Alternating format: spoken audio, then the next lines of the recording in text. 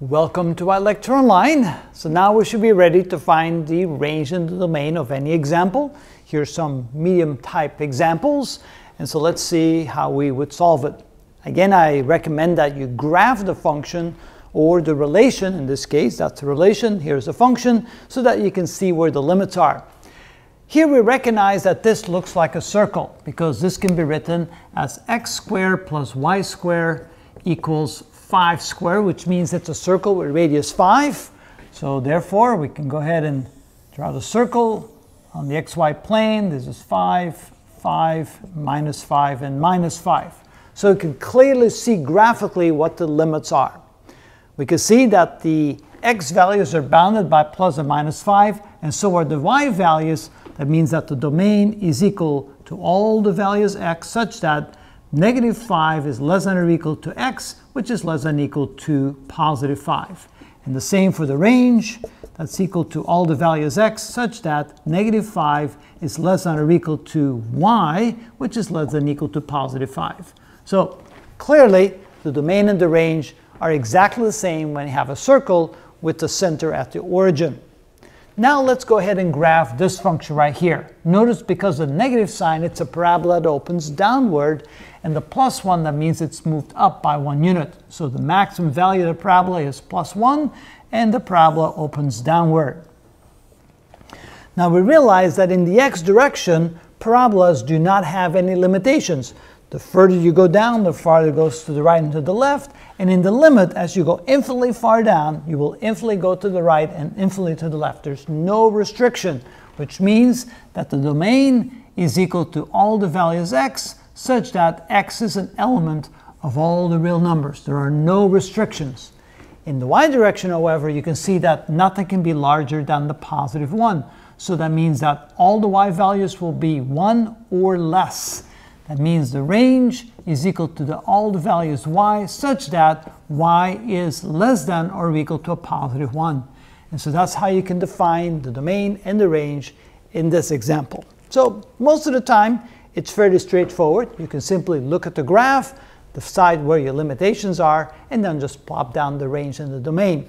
In other cases, we have to take the limit. You have to look for the asymptotes, for the values that x cannot be because you cannot have zero denominators.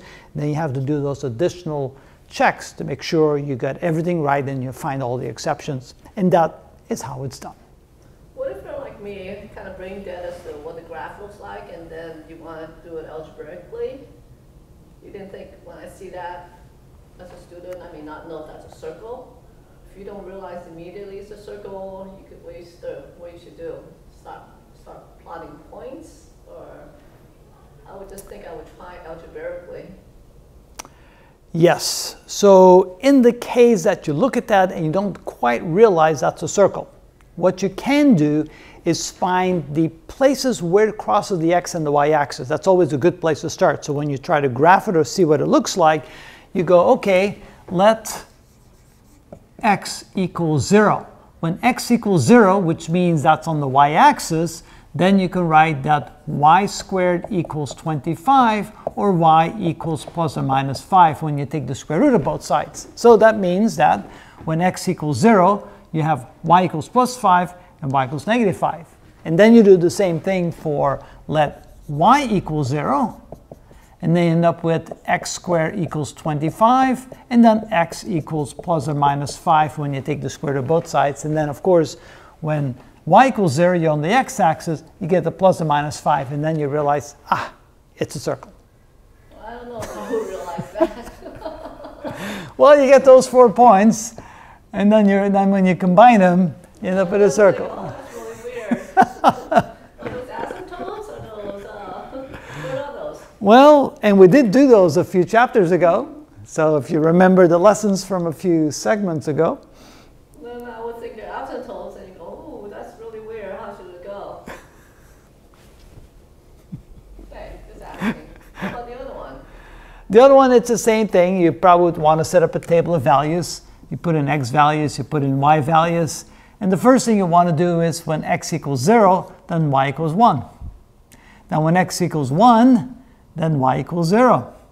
And when x equals 2, then y equals negative 3.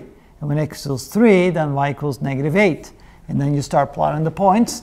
We have 0, 1, we have 1, 0, then we have 2, negative 3, and then we have 3, negative 8. And then when you collect, connect them, you say, ah, that's one side. And then you go in the other direction, and then you go x equals uh, negative 1. And negative 1, you get the same value. You get y equals uh, uh, 0. And negative 2, you get negative 3. So on the other side, you get this point, you get this point, and then you collect the dots, and you realize what you're dealing with. So you, you have to go back to your old techniques. You start plotting points, plotting points, finding the places where it crosses the x and the y axis, and that's a good start. So if you're brain dead, just plot points. When you're brain dead, plot points. That's right. Always works. My favorite way. Hey, that's what I did. When I didn't know what was going on, I began to plot points to kind of see what it looks like. It's a good way.